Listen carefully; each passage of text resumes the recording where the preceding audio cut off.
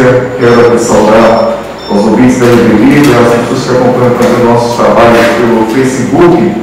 E mandar um abraço para o amigo Dilson Israel que está nos ouvindo. Aquele abraço para você e para a sua família, né, que está sempre aí ouvindo aqui as nossas falas, acompanhando a nossa sessão. Eu mando um abraço também para toda a turma do Sítio minha amiga Mônica, Bernardo, bem Tiago lá em Camaçarina. Colegas, é, hoje retornou aqui a discussão sobre essa questão dos 13 mil quilômetros para é, é, o transporte de feirantes. O colega Paulo é, ele trouxe uma, fala aqui que, com todo respeito que eu tenho ao vereador, e, eu acho que ele foi infeliz. Porque no contrato ele cita é transporte para as feiras livres do município.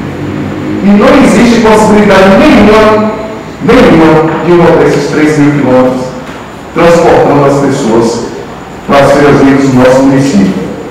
Outra coisa aqui que, que me deixa espantoso é assim, o colega disse que não está pagando, que no contrato tem feira livre, mas que está transportando os alunos para os kits. Já tem coisa errada aí. Né? Transporte escolar é transporte escolar. Até porque se paga o curso 25 com os 40, né? Por cento. E no período da gestão na gestão passada, era pago com o dinheiro da educação. Esse recurso aí é outro, o que está falando da Feira Livre é outro. E o que a gente percebe é que existem os carros da educação que ajudam a Feira Livre. Né? Os meninos laboratórios dos carros rodam, aqui os, os transportes rodam também. Né? Nada contra, tem que olhar para transportar o povo mesmo. Né? Mas é, é, complicado a gente trazer aqui e a gente acompanhar, porque o nosso papel, os colegas até é, ficam assim, achando que a gente, a gente vai procurar a solução, a gente vai denunciar, porque isso é escabroso. 3 mil quilômetros para transportar as pessoas da Feira Livre. E aí, quando se fala em solução, hoje, hoje o colega Alcio trouxe aqui um, um, um dado, né? É, o encontro do valor, né? bom o prefeito viaja, ele é o nosso órgão tradicional agora, prefeito, e a gente fala dos problemas e falta solução.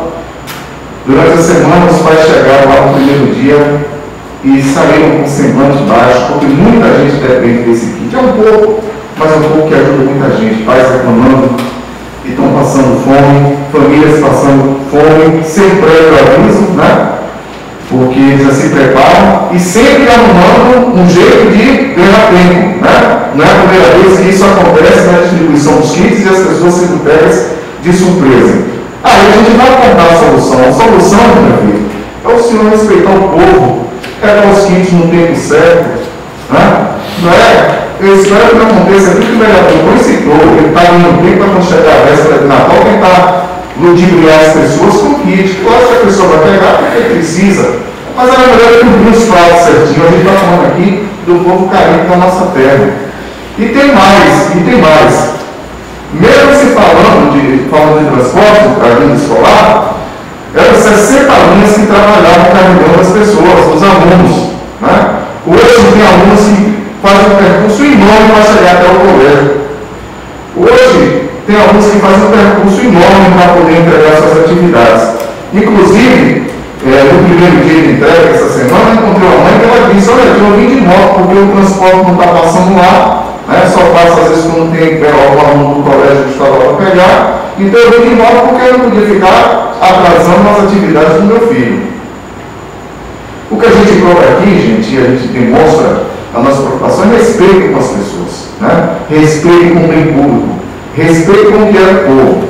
A gente tem observado, e aí as queixas não chegando só aos vereadores, eu sei também que chega aos vereadores de, de, de situação, mas a gente viu a quantidade de atrocidades que vem se acontecendo aqui na saúde de Macajuba.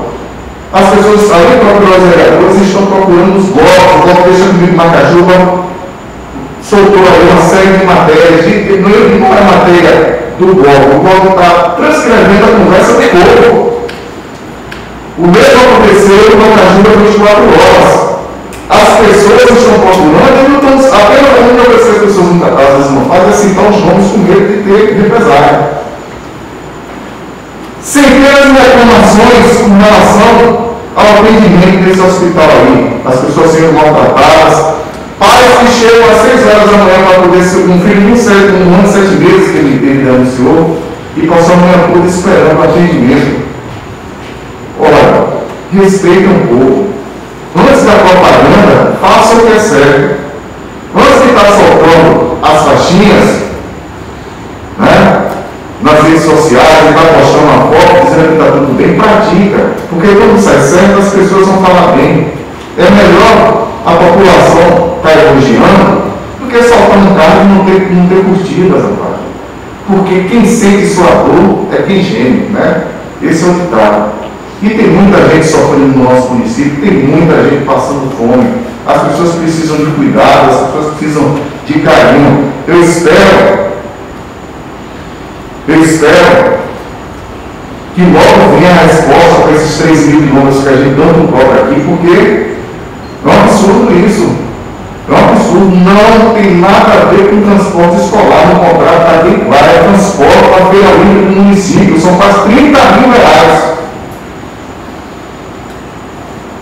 Inclusive, o vereador trouxe uma situação que são ex-vereadores que eram da bancada do prefeito atual e estão questionando, estão achando absurdas essas, eh, eh, eh, essas, essa quilometragem toda que está acontecendo no município. O laboratório de Macajuba é uma verdadeira bagunça com a marcação com as pessoas. As pessoas chegam de madrugada, voltam para suas casas sem marcar um exame, sem fazer um exame e ainda vem para me dizer que as pessoas estão sendo tratadas com respeito, com carinho. Não estão não. Vamos deixar a propaganda e vamos trabalhar mais para o povo. Porque se fizer a propaganda e não trabalhar, o povo vai dar resposta numa próxima eleição. Quero aqui agradecer, Cláudia Apanho, senhor Quirezal. Vereador, sendo um minuto da sua fala, eu quero aqui, vereador Sandro, dizer que nós estamos fazendo isso. O senhor falou que está errado, denuncie.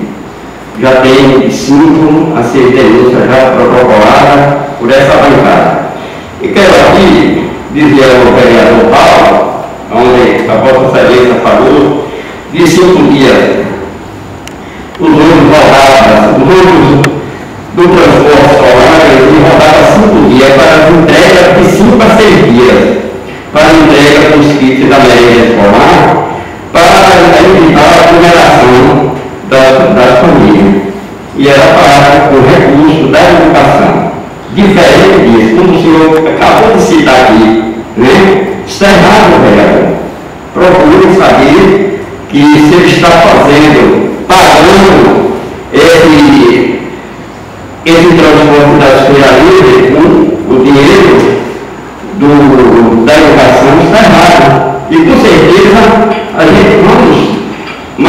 vez, protocolar mais uma denúncia.